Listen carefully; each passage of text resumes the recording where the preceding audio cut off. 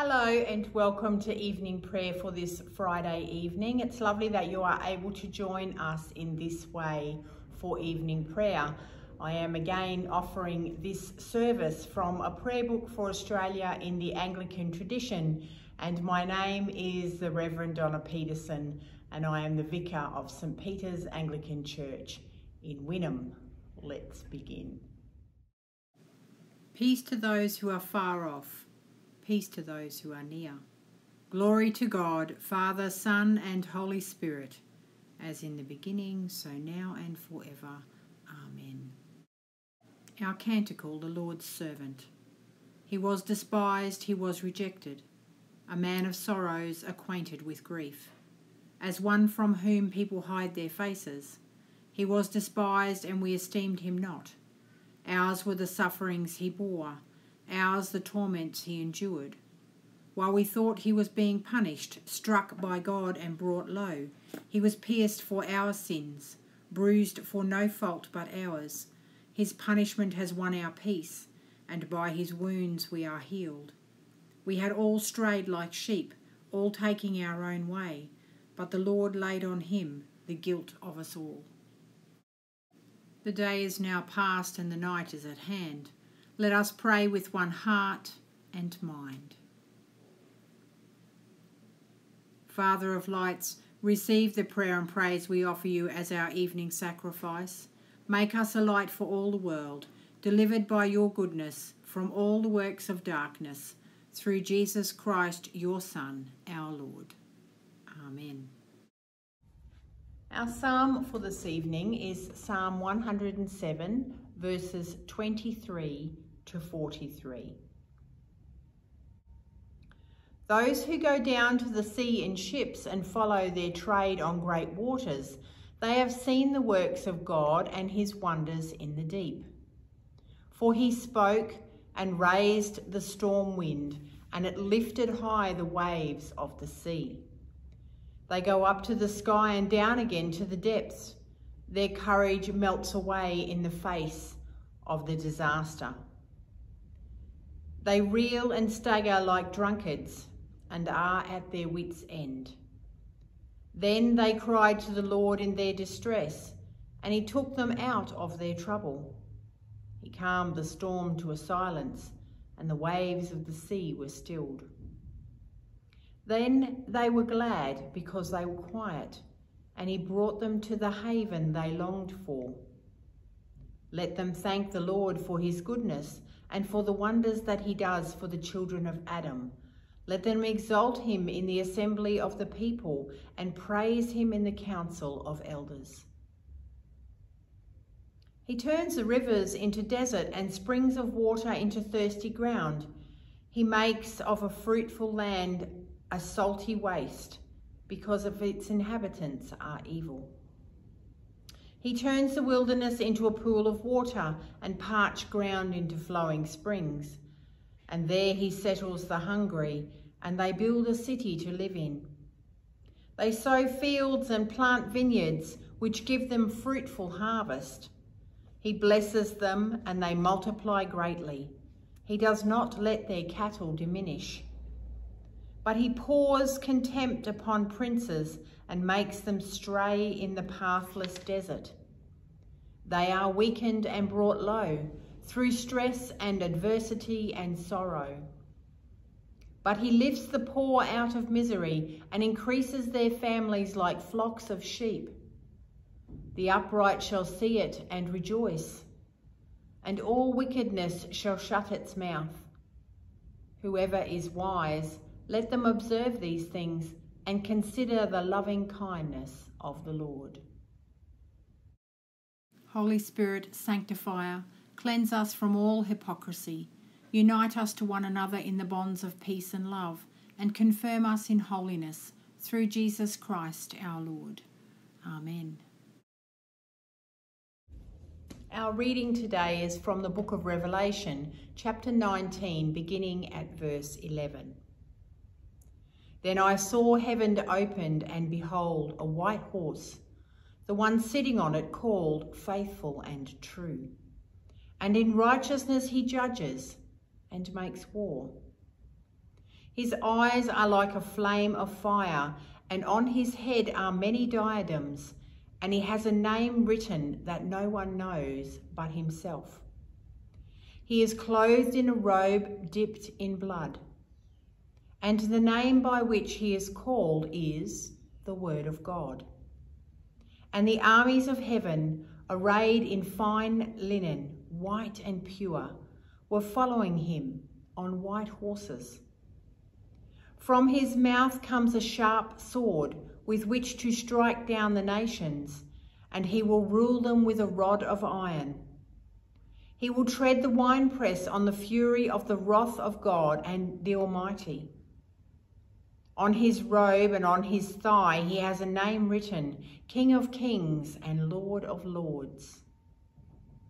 Then I saw an angel standing in the sun, and with a loud voice he called to all the birds that fly directly overhead, Come, gather for the great supper of God, to eat the flesh of kings, the flesh of captains, the flesh of mighty men, the flesh of horses and their riders, and the flesh of all men, both free and slave, both small and great.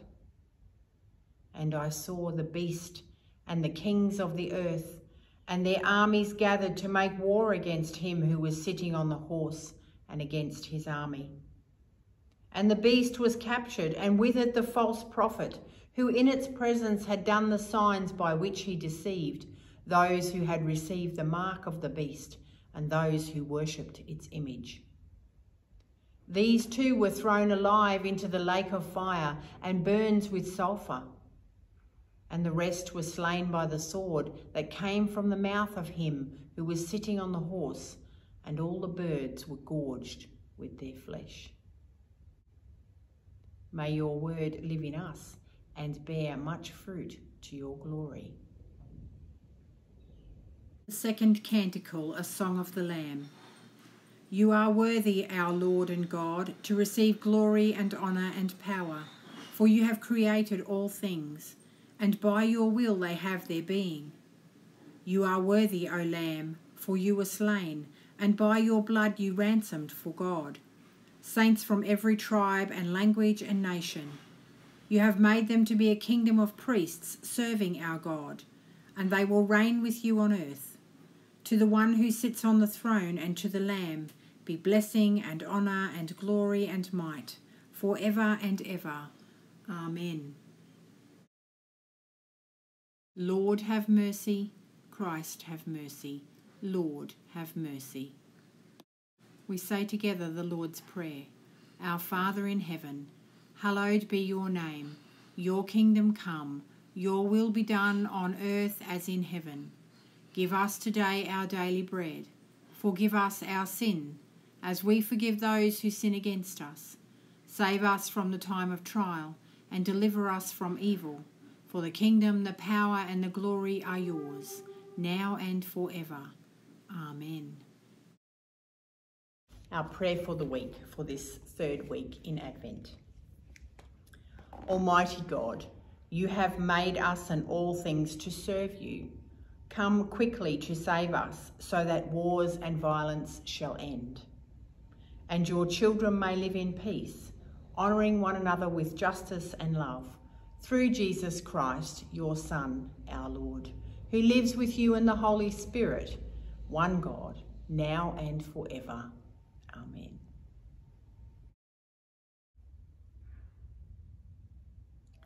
Let us pray for the world and for the church, for the earth and all that's in it. Lord, we give thanks for the beauty and abundance of the earth.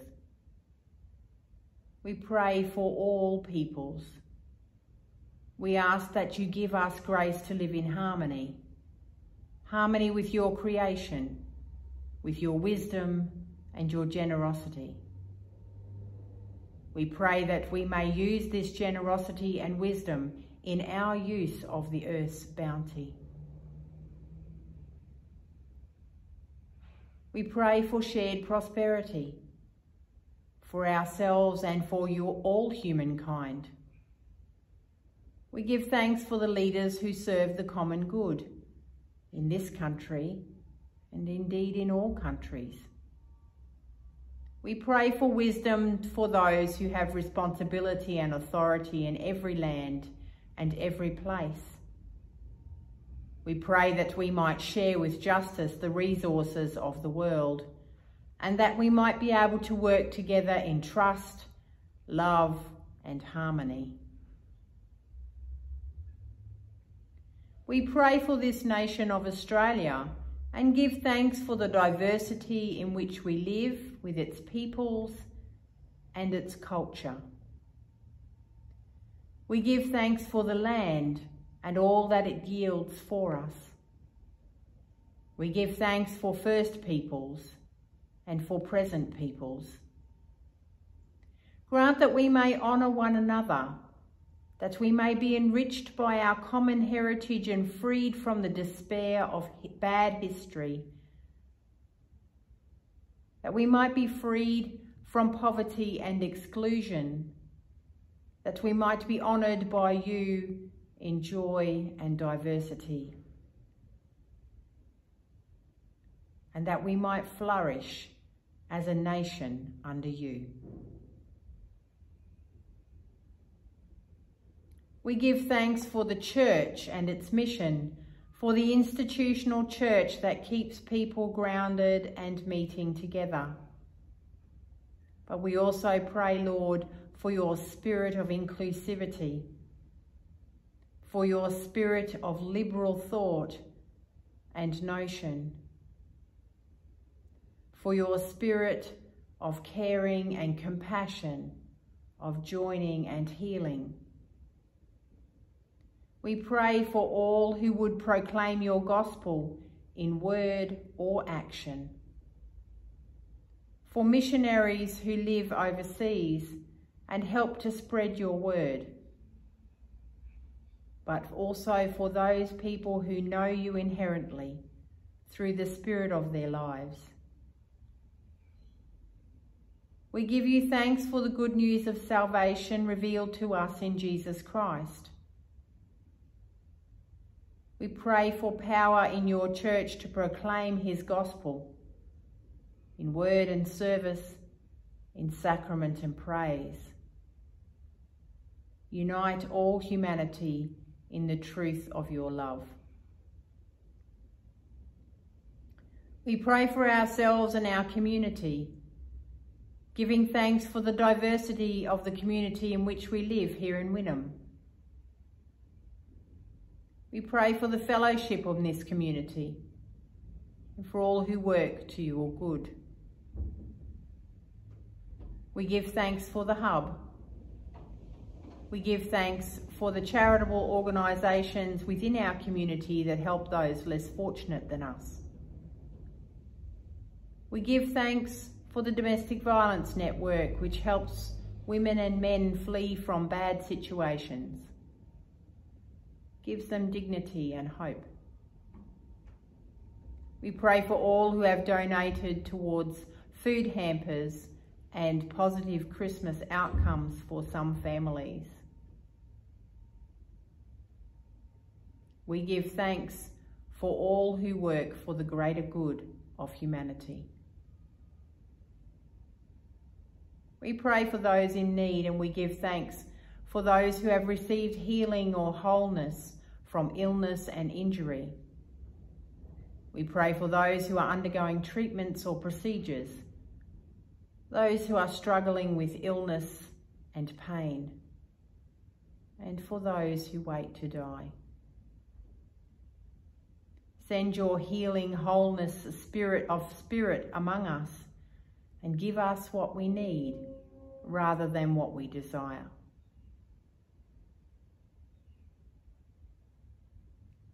Finally, Lord, we thank you for those faithful departed, those whose faith has shown us the way to you, as well as those whose faith is known only to you. We take a moment to hold before you the names and faces of our loved ones who have died and we see no more. Lord, in your mercy, hear our prayer. Lighten our darkness, Lord, we pray, and in your great mercy defend us from all perils and dangers of this night. For the love of your only Son, our Saviour, Jesus Christ. Amen. The Lord be with you. Let us praise the Lord. Thanks be to God. May the God of all grace, who has called us to eternal glory in Christ, Restore, establish, and strengthen us. To him be the dominion for ever and ever. Amen. Thank you for joining us for evening prayer in this way. It's lovely that we are able to meet together and pray in this way together over cyberspace. Um, at whatever time you are offering this prayer and whatever time, obviously, I pre record this and it's morning and it's wet. But there is only one more week till Christmas, one more week until we meet our Lord and Saviour as that vulnerable human babe again and offer our connection through family and love and joy through our Lord Jesus Christ. And that is our theme this week joy. So if you haven't joined us on Monday or Wednesday and you hadn't realised, we are in the third week of Advent and our week is joy. So I pray that as you move from this space, your joy may be complete and may be complete in our Lord, and that you may be able to share that joy with those you meet tonight, tomorrow, and next week. Until next time, bye bye for now. If you enjoyed this service or this video, please like or comment below like and subscribe to our YouTube channel to get notifications of when more videos are available. If you need to contact us, you can contact us on Facebook or any of the details here on your screen now. Good night and God bless.